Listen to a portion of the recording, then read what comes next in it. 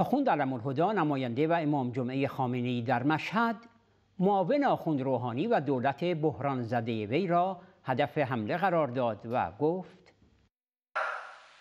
میگن آقا ما تو برنامهمون تو سیاستمون تو اجراییاتمون این مشکلات رو داریم. راستشو به مردم بگن. بعد پنج سال یا آقای از مسئولین بیاد بگه آقا بنده اختیار انتخاب منشی خودم نداشتم تو دولت. آقا این اصلا واقعا رو راست حرف زنه با مردم نیست.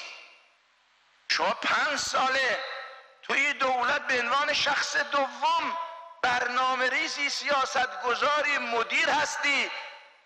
خب اگر واقعا اختیار حتی انتخاب منشی نداری اصلا چرا موندی از روز اول؟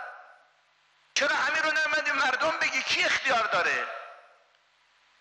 او کسی که مانع هسته بیا مردم معرفی کن. شفاف